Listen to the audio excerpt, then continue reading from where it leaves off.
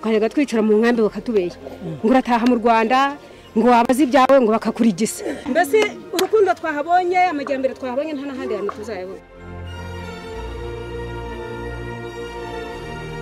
Iyo wahunze ukicara bakwita impunzi ntabwo bikunezeza. Ariko noneho iyo ugeze mu gihugu cyawe birakunezeza. Umunyarwanda wese afite agaciro.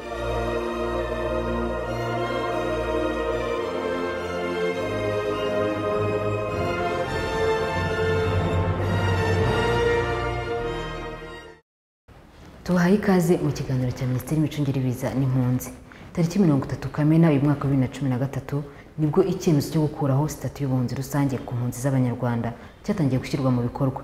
Mu kiganiro cy'uyu munsi tugiye kurebera hamwe ikiri gukorwa ku ruhande rw'u rwanda igikorwa ndetse ku ruhande rw'ibihugu bicumbikiye izo mpunzi zamaze gutakaza ubuhunzi. Mu kiganiro cy'uyu munsi kandi turanarebera hamwe uburyo abazahitamo kureka ubuhunzi ariko bakaguma mu bihugu babagamo uburyo bazahabwa ibyangombwa ku buryo bworoshye. Tubahe ikaze mu kiganiro cyacu. Nyuma y'aho icyemezo cy'ikurwaho ry'ubuhunzi rusange ku mpunzi z'abanyarwanda gitangiye gushyirwa mu bikorwa tariki mirongo itatu kamena bibiri na cumi na gatatu ubu umubare munini w'abahoze ari impunzi z'abanyarwanda batakaje sitati y'ubuhunzi. Abanyarwanda barebwa n'iki cyemezo ni abahunze hagati y'umwaka w'igihumbi kimwe magana cyenda mirongo itanu n'icyenda ndetse n'igihumbi kimwe magana cyenda mirongo icyenda n'umunani. Ishyirwa mu bikorwa ry'ibiteganywa ku mpunzi z'abanyarwanda zirebwa n'iki cyemezo ni igikorwa gikomeza mu bihugu bicumbikiye impunzi ndetse no ku ruhande rw'u rwanda. Mu bihugu byinshi rero imyiteguro ni yose mu buryo bwo gushyira mu bikorwa icyo cyemezo. Twasuye congo brazzaville kugira ngo tubategereje muri uku kwezi kwa munani ko ni bwo bazaduha gahunda neza y'umubare w'abantu biteguye gutaha umubare w'abantu bakeneye kubona pasiporo z'u rwanda cyangwa izindi dokima z'u rwanda zituma batura muri congo brazzaville nk'abanyarwanda batari impunzi ni ibihumbi umunani bigaragara ko nubwo habonekamo egisampsiyo bigaragara yuko abantu barenga ibihumbi birindwi bazaba bavuye mu mubare w'impunzi tuvuye muri zambia zambia yo yararangije yamaze yaduhaye umubare w'abantu yamaze gusonera ni abantu mirongo inani n'umwe ku bantu igihumbi magana bari basabye abandi ibihumbi bine bose ni abazarebwa n'iki cyemezo bivuze yuko abenshi ni abazataha ariko zambia yemeye yuko abazasaba kugumayo yabemerera kugumayo ari uko bafite impapuro zibagaragaza ko ari abanyarwanda bemewe n'u rwanda congo demokaratike mu mezi atatu baraba barangije imirimo yose bateganyaga gukora noneho tukazongera guhura nyuma y'amezi atatu nabo baduha imibare ihamye y'abantu biteguye gutaha n'abo bitegura kuba bagumana muri congo demokaratike baramutse babisabye. Muri iki cyumweru tugiye kujya i bugande. Bugande nabonye hari ibyo batangaje kuri iki cyemezo. Umunsi bazafungiraho amarembo rero bo bavuze ko bazawutangaza mu minsi iri imbere ntawe batangaje kubera yuko bavuga bati muri iki gihe turi kubashishikariza gutaha. Ibyo ngibyo bakavuga yuko nibamara kubona ubushobozi bubafasha kubona kubonera igisubizo bifuza gutura cyangwa bifuza gusonerwa ni bwo bazakora icyo bita imvokasiyo ni ukuvuga ni bwo bazafunga amarembo umunyamahanga uhagarariye impunzi. Yasobanuye neza mu magambo atanyura ku ruhande ko impunzi zahunze kuva muri mirongo itanu n'icyenda kugeza muri mirongo icyenda n'umunani. Nta mfashanyo zizongera kubona muri hsr ubwo urumva ko na hsr na yo iri kugenda ikuramo akayo karenge igenda bisobanuye ko bariya bavandimwe rero batashye cyangwa batse ubwenegihugu cyangwa batuye aho bari. Ntabwo bakiri impunzi rero. Ikurwaho rya sitati y'ubuhunzi rusange ni icyemezo giteganijwe mu masezerano mpuzamahanga agenga impunzi. Iki cyemezo gifatwa iyo hari impinduka zigaragara zerekana ko ibyateye ubuhunzi mu gihugu byose byarangiye. Ishami ry'umuryango w'abibumbye ryita ku mpunzi hcr rimaze kubona ko guverinoma y'ubumwe bw'abanyarwanda yakoze ibishoboka byose mu kugarura amahoro n'umutekano mu rwanda ndetse no kugeza abanyarwanda ku iterambere rifatika ryasanze nta mpamvu n'imwe yatuma abanyarwanda bakomeza kwitwa impunzi kuko ibyabateye guhunga byose byarangiye. Ibipimo by'imiyoborere myiza mu rwanda bifatika ni byo bishingirwaho bigaragaza ko mu rwanda ari amahoro hari umutekano n'iterambere birambye. Kuri iyi pointi ya mbere rero y'irebana igihugu kigendera ku mategeko tureba ibintu bitandukanye. Kugeza kuri uyu munota abaturage mirongo inani na babiri n'ibice icyenda ku ijana babajijwe. Babazwa bati ese amategeko arubahirizwa mu gihugu? Mirongo inani n'icyenda barabyemera. Umva iyo ni imibare ihagaze neza cyane. Ni ukuvuga ngo amategeko aho ava akagera yose abaturage bibona ko biriho birakorwa neza koko. Ikindi kintu kiri kugaragaramo ngira ngo u rwanda ruri mu bihugu bya mbere muri afurika bifite umutekano. Gifite mirongo icyenda n'imwe n'ibice bitatu ku ijana ngo umutekano w'abanyarwanda ndetse n'abatari abanyarwanda baza gusura igihugu uhagaze neza neza neza cyane. Nicyo gipimo kiri hejuru.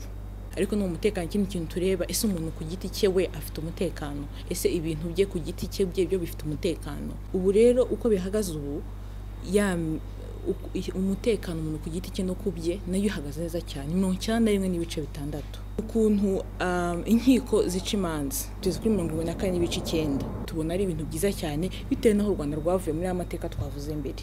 Uko ubugenzacyaha n'ubushinjacyaha bukora cyangwa se muri make prosecution na yo ifite ibipimo byiza bigeze kuri mirongo irindwi na gatanu n'ibice icyenda. Hari politiki ya access to justice irimo icyo bise legal aid legal aid fund. Icyo na cyo ni politiki nziza ifasha ba bantu b'abakene batabasha kuba babasha kwiburanira ubwabo badafite uko bajya gushaka umwavoka abavoka ntabwo ari umuntu ushobora kubabona hajyaho iyo politiki yo kubafasha kuba bakunganirwa mu nkiko. Kandi iri gukora neza kandi iri gufasha kandi nabwo n'abaturage barayishimiye cyane.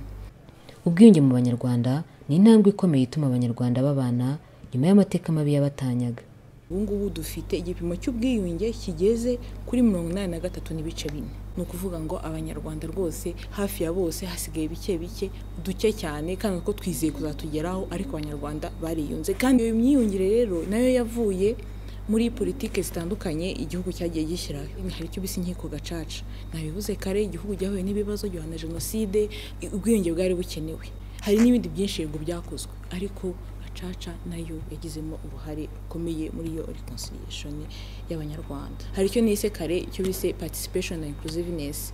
Uko abaturage bagira uruhare mu bibakorerwa. Ngira ngo abantu barabizi mu rwanda nitwe aho abagore igitsina gore cyahawe umwanya mu buryo butandukanye. Icyo ni cyo bita inclusiveness. Navuze abadamu ariko hari n'urubyiruko hari abamugaye hari uko bagenda bashyirwamo ariko nanone hari n'iyo kugira uruhare mu bibakorerwa. Ubwo rero iyo na yo ikaba ari imwe na yo muri bya bipimo bihagaze neza. Uyu ugeze kuri mirongo irindwi na gatanu n'ibice bibiri. Uhereye kuri icyo kugira uruhare mu bibakorerwa. Hari amatora. Abantu babasha kwitorera. Ubu ngubu uko bihagaze ubu abaturage bishimiye kwitorera bitorera abayobozi. Baba ari mu nzego z'ibanze no kujyana no ku rwego rw'igihugu. Ubu uko abaturage babyishimiye kuri mirongo icyenda na kabiri n'ibice bibiri. Guha abaturage umwanya harimo uko noneho batanga ibitekerezo muri za politiki zigiye zitandukanye. Ibyo na byo barabyishimiye ku gipimo cya mirongo inani na kabiri n'ibice bibiri. Mu myaka ishize byibura abantu bagera kuri miliyoni imwe babasha kuva mu bukene.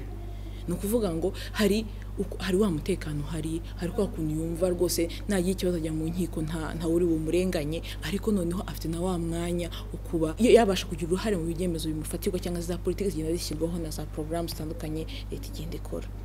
Kuva icyemezo cy'ikurwaho ry'ubuhunzi rusange cyatangira gushyirwa mu bikorwa impunzi z'abanyarwanda zikomeje gutahuka. Kugeza tariki cumi n'ebyiri z'ukwa karindwi bibiri na cumi na gatatu nyuma y'icyumweru kimwe gusa iki cyemezo gitangiye gushyirwa mu bikorwa hari hamaze gutahuka abanyarwanda magana abiri mirongo irindwi na barindwi. Icyo midimari ishyize imbere ni uko impunzi z'abanyarwanda bose batahuka kuko mu rwanda ari amahoro ndetse hakaba hari na gahunda ziteganirijwe kwakira abatahuka no kubasubiza mu buzima busanzwe. Gusa mu biteganijwe nk'ibisubizo birambye mu cyemezo cy'ikurwaho ry'ubunzi rusange hari no kuba bari impunzi bakomeza gutura mu bihugu byabakiriye batitwa impunzi. Ibyo bikaba ariko byaba byubahirije amategeko agenga ibyo bihugu. U rwanda rero ngo rwiteguye gufasha abahoze ari impunzi bifuza kuguma gutura mu bihugu bibacumbikiye batitwa impunzi kubona ibyangombwa by'u rwanda bibemerera gutura muri ibyo bihugu nk'abandi banyarwanda baba mu mahanga. Twatekereje mu buryo bwo kuborohereza urwo rupapuro rw'umwihariko kuri abo bantu ruzajya rwuzuzwa. Ibyo bindi biherekeza forumire nta bizaba bihari ntabyo bafite benshi. Tuzajya tuzohereza tuzohereze mu bihugu barimo dushobora kuzajya tuzinyuza muri ambasade aho ziri tuzinyuze ku bahagarariye diaspora cyangwa tuzinyuze kuri leta z'ibyo bihugu bitewe n'uko twa n'amasezerano tugenda tugirana nabo noneho badufashe kuzigeza ku bari impunzi bazuzuze bongere bazitugarurire tuzigenzure tuzisuzume noneho dukore pasiporo na pasiporo tuzohereze. Hari abantu rero mu bari impunzi bagiye bahindura izina mu- buryo bw'imibereho wenda agahindura izina kugira ngo abashe kwiga. Abo ngabo twabasabye muri rwa rupapuro ru- buzuza hari ahantu tubasaba kuduha amakuru y'izina yari asanganywe. Kugira ngo nitujya kumwidentifiya hano mu gihugu kureba uwo ari we ko ari umunyarwanda koko twe tuzarebere kuri rya rindi yari asanganywe tumenye ko duhaye naka. Kuko ntitwabasha kumugenzura tugendeye ku mazina yiyise ntawamumenya mu gihugu. Nitumara rero kubigenzura. Ngira ngo itsinda ryashyizweho ryo gutegura ishyirwa mu bikorwa ry'icyemezo cy- cyo kureka ubuhunzi ryasanze dukwiye kuborohereza tukabakorera pasiporo mu mazina mashya mu gihe batubwiye aya kera bari bafite ariko bitabujije yuko bazajya bagenda bashyira mu mategeko bya bindi batakoze mbere y'igihe n'igihe cyari gikenewe kugira ngo babikore. U rwanda nk'igihugu gifite umutekano amahoro n'iterambere rirambye ngo ntirwifuza ko hari umunyarwanda wakomeza guhera mu buhunzi. Abanyarwanda bari hanze nibaze dufatanye. Abanyarwanda turabakumbuye tuwe turi mu rwanda turashaka kubareba turashaka kuzamukana nabo. Rwose nibaze iyo miyoborere myiza irahari umutekano w'igihugu urahari ibintu byinshi byinshi byinshi tumaze kugeraho birahari. Nibareke kumva bababwira ibitari byiza kuko bazabarebe se bo baheruka mu rwanda ryari. Ariko bo nibaze noneho tubashe koko gutsinda nk'igihugu kigere ku- ku- ku- ku- kuri za nzozi dufite ariko bikagaragara ko byavuye mu mbaraga z'aba n'abanyarwanda bose uko bakabaye atari bamwe gusa abandi bakaba bari ku ruhande. Nyuma y'ikurwaho ry'ubuhunzi rusange rero minisitiri w'imicungire y'ibiza no gucyura impunzi arahumuriza impunzi z'abanyarwanda ndetse azibwira ko u rwanda rwiteguye kubafasha. Kuba ubuhunzi buvuyeho ntabwo ari ibyago ku banyarwanda. Ngira ngo ni ni- ni- ni- ni nk'amahirwe yo kuva mu kintu cy'icyobo wari warishyizemo cyangwa mu kintu ki- gipfundikiye wishyizemo kuba ubuhunzi buvuyeho ni nko kuvuga ngo ni umuntu wari uhetswe wamenye noneho kugenda adahetswe. Nkuma numva yuko birumvikana ko uzarebe n'uyu mwana agiye gutangira kugendagenda asa n'u- n'ufite ubwoba afata hirya no hino ariko agera akagenda kandi bikamushimisha. N'impunzi rero ziri hanze ndumva ariyo etape bagezeho.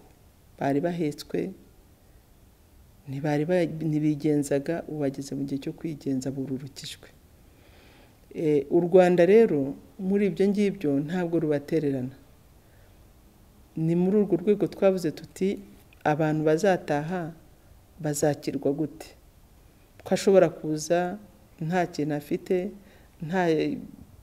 nta n'ibikoresho byo mu rugo afite nta n'icyo kumutunga cyangwa nta n'umuvandimwe afite.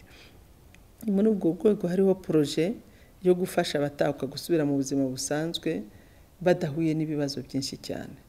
Kuva mu mwaka w'igihumbi kimwe magana cyenda mirongo icyenda na kane kugeza mu bihumbi bibiri na cumi na kabiri abanyarwanda basaga miliyoni eshatu n'igice bari bamaze gutahuka kandi banasubijwe mu buzima busanzwe. U rwanda rukaba rwiteguye kwakira n'abandi bose bagishaka gutahuka. Turabashimiye ababanye natwe mu kiganiro cya minisiteri y'imicungire y'ibiza n'impunzi. Mwiboneye ibiri gukorwa n'ibihugu bicumbikiye impunzi nyuma y'ikurwaho rya sitati y'impunzi rusange ku mpunzi z'abanyarwanda.